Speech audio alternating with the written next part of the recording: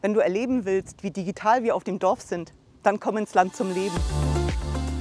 Vor über 30 Jahren investierten wir das Begrüßungsgeld, das wir damals bekommen haben, das Begrüßungsgeld der gesamten Familie in den ersten Computer. Und seitdem sind wir hier auf dem Dorf selbstständig tätig in einem Softwareunternehmen. Zu Anfang natürlich das Start-up, das sich um nichts kümmert und einfach nur vorausgeht. Das war eine super Zeit. Hier auf dem Dorf ist es einfach so, dass das alles überlebt. Corona wird überlebt und äh, Weltwirtschaftskrisen werden überlebt. Ich bin sehr froh, hier zu sein und ich möchte nirgendwo anders hin.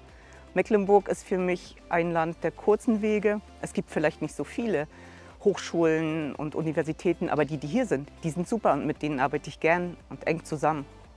Wir haben einen schnellen, direkten Kontakt. Mecklenburg-Vorpommern, das ist das Land vom Leben, es ist auch mein Land zum Leben.